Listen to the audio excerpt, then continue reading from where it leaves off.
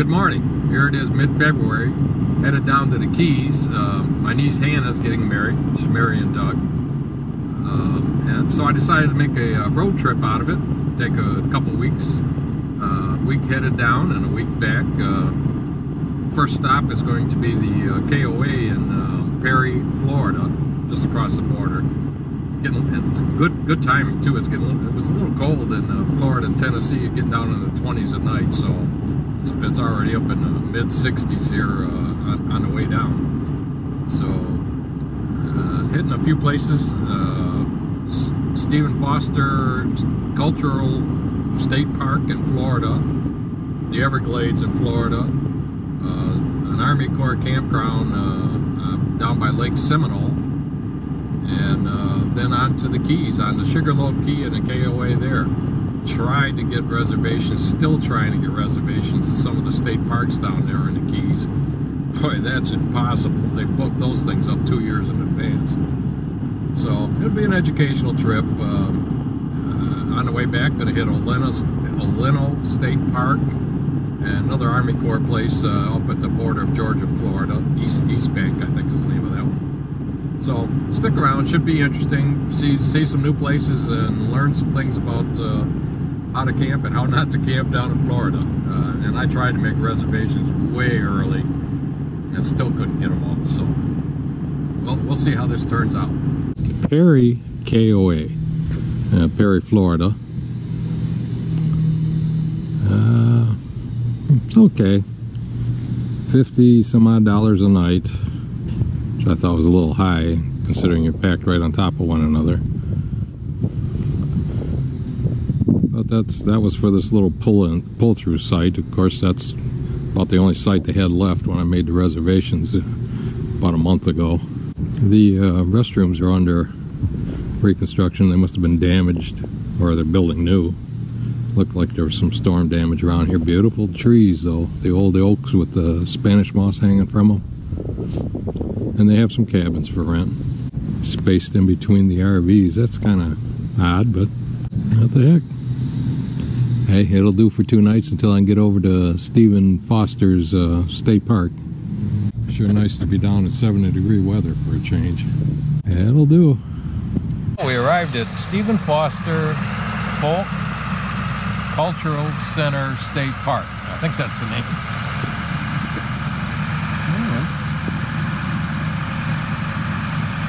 A lot of Spanish moss and a palm tree. I'm not exactly sure what this is. Oh, oh it's the Stephen Foster Museum. Well, check this out. The azaleas are popped out. Magnolia tree there behind it. Find out what this guy is. Turns out it's the Stephen Foster Campanile. I'll explain later. Well, I think I think this is my site. Uh, I'm here 12 o'clock. They say no check-in till 3, so they may throw me out of here. But this uh, this is site number 2, and according to my email, it says 002, so I'm assuming this is it. Hell of a site.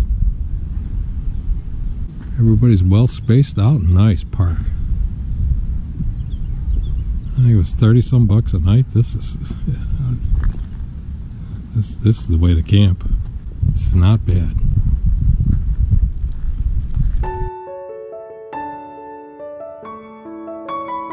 The inside of the uh, Stephen Foster Museum. And they have windows themed after all of his songs. It's pretty cool. My old Kentucky home.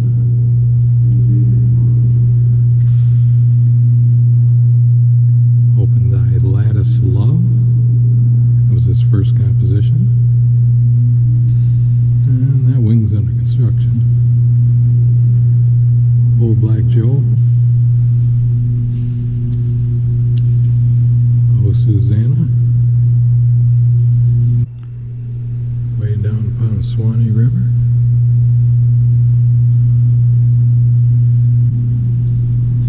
Old Dog Tray.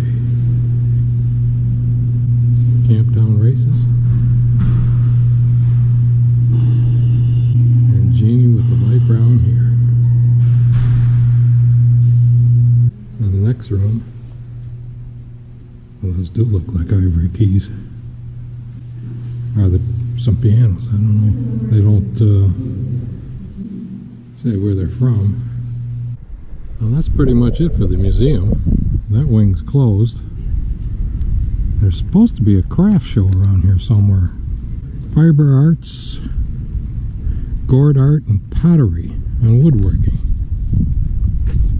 Craft Village. Let's see if we can find that. Had to look this one up. Campanile is a freestanding Italian bell tower.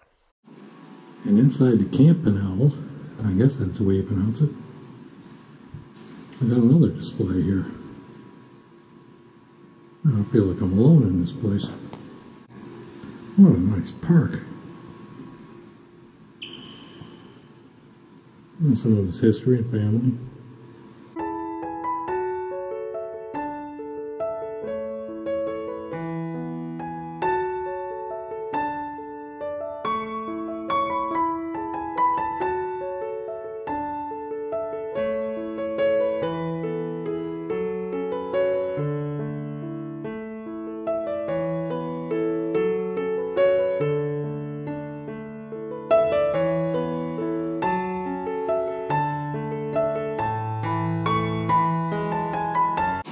Andrew Carnegie. 1902 grand piano. Walnut was presented to the Stephen Foster Center by Mrs. Robert Roberts. Well, I do believe this must be the Craft Village. See which one of these uh, cottages are open and what kind of crafts they have there. What a great park. Well, the rustic wood crafts, fiber arts, and gourds. Let's see what this is about.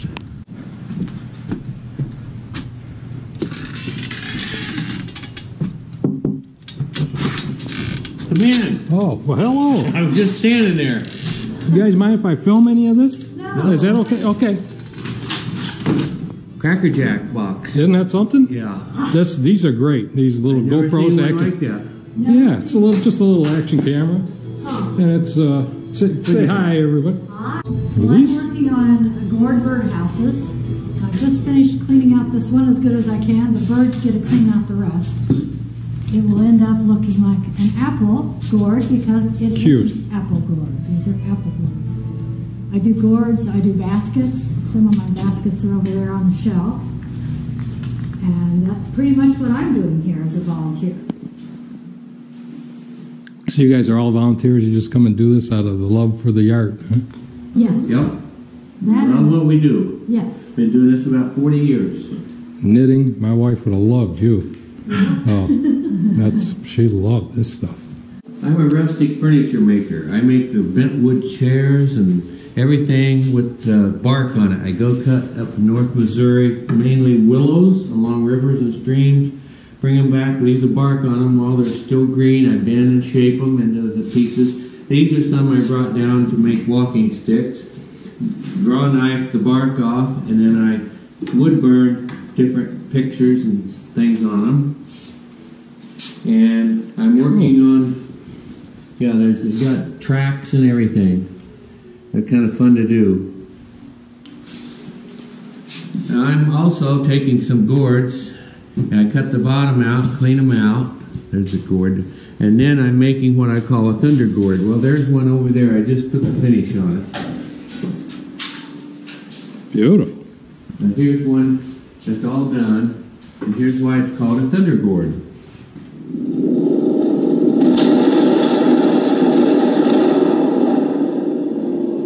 So what do you, what do you have inside that's making the? Nothing inside. It's just that spring oh, attached Oh, a to spring. the membrane. Okay, and that's vibrating, That is making and vibrating. echoing in the. Comes Okay. outside through the holes.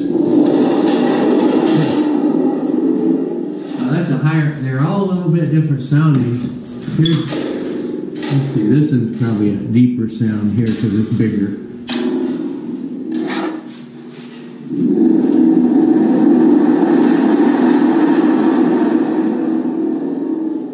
Amazing. And Pat, what do you, you what, are you making anything? I see you're making booties or, or moccasins. Here, Or, Yeah, with some real Slippers? big yarn that goes real fast to make them. Um, I like making these little soap scrubby things. They're kind of abrasive. Either like abrasive or real soft, one or the other. No, There's a reversible headband here for a hunter, either fluorescent or camo. And this is good for somebody up north. Um, got pockets in it. And it's extra heavy right at the head and at the pocket part. Ooh, that's kind of my thing. almost look like snow boots. These guys. Yeah, those are supposed to look like high top tennis shoes. Oh, I They're see. slippers. I got you. Cute. Well, thank you, everyone. Well, no, just yeah, just do what you were doing. Uh, okay, we're gonna play it with Go Tell Aunt Rhody. This is this is her third song she's ever played on the dulcimer. So here we go. Oh, wait a minute. okay, so, Okay, wait. and what, am I going to use my thumb on one? Uh, no, I I, would like use. I no, no, I would no. No, no, one is there. Okay, I'm ready. Okay, ready, go. One.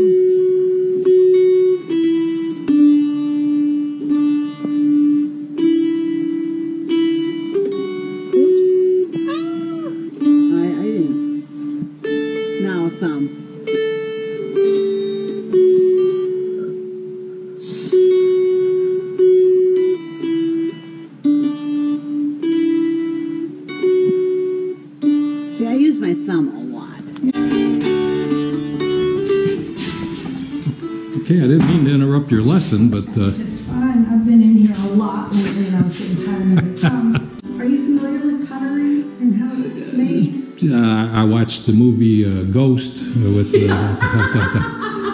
the, the, the, Okay, sometimes I'll center my clay that way. Yeah, I don't, it's not quite that erotic when I do it. oh, so- so- something's missing. Yeah, I know. really. This is the process that the clay goes through. Here's some, there's some raw clay. And this is the clay that I would, I mostly throw on the wheel. So this is the clay that I would throw. And when it dries thoroughly, it looks like this. You can see it really starts Right. to change colors. Lightens up. I don't have any pieces like that, but Is it- this is called greenware. Um, and anywhere from here to here, I can still reuse this. You know, if I had a piece and it dried all the way and I thought, I don't like that, I could still um, reclaim it and use it again. When it's totally dry, which is these are, um, then I put it in the kiln to bisque fire it and it'll look like this, and that's what those pieces are. They've been bisque fired. But these are still somewhat porous, and if I put these in water for long enough, they would still disintegrate. Okay. Um, so they've got to have glaze on it. Glaze. Now, I fire at a mid range, which is a fairly high temperature. Um, you can, it's possible to fire at a lower, much lower temperature. Uh, the stuff that's like paint your own pottery, that's fired at a much lower temperature. But it's not always um, as functional. It, um, It's still very brittle, isn't it? I mean, if you yeah. So, but you have a lot more control over what you do. You know, you can paint picture. What Right. you paint, it's like what you see is what you get. painting with a glaze. Right. What that's not always the case when you get to higher temperatures. But these are some of the glazes that I well I haven't used that one yet. But um, this is some of the glazes. What I like is that see this bottle? It's black. Oh, Yeah, it's it's interesting. What you see is not what you get. Um, so I paint those on, and that's a first for me. I've never done that before. I always dip it in big vats. Um, so it's taken. There's a learning curve there, quite a learning curve. So after I've glazed them, and I did a glaze firing, or after I put this on, back in the kiln, I fired it to 20, almost 2200 degrees, I think. Um, and then I get the finished lot of learning first. Oh, and then the clay looks like that. That's, this is a piece um, of the, of unglazed, uh, but it's, um, it, it has that speckled, that's the raw clay. So one thing I've learned is that this glaze has to be put on really thick. This is the same as this, is the same as this, and the same as that bowl over there. So I put it on thicker this time. I love that part. Um, and then this is the same glaze as this, but I found out I had to put it on a whole lot thicker. Get lavender. It's fun. great hobby. It looks like you do good work. It's fun. Yeah, it takes a lot of stuff. And, and I, what's your name? Laura. Oh, Laura. Sorry. Laura. My, my name tag is on my apron that I took off for my lesson. Well, thank thank you for the pottery lesson, Laura. Well, Moore Haven KOA, right off 27, here just outside of Moore Haven, uh, south side of Okeechobee. Well, the, the people are nice, but I don't know why this is a KOA. You're right on top of one another. Oh well, it'll do for the night till I get over to the Army Corps. Anxious to see their uh, their uh, campground. Couldn't get couldn't get there tonight, uh, or I could get there, but they uh, didn't have any spots. So that seems to be the trend of the nice places here in Florida. And this place is just about out of spots too. left the uh, Moore Haven KOA and headed over to the Ortona Army Corps of Engineers campground. Um, that video will be coming up next week along with the Everglades. Hope you're enjoying the videos. Um, it's was pretty fun and educational for me. So I hope you'll hang around for the upcoming videos and the rest of the trip. See you later.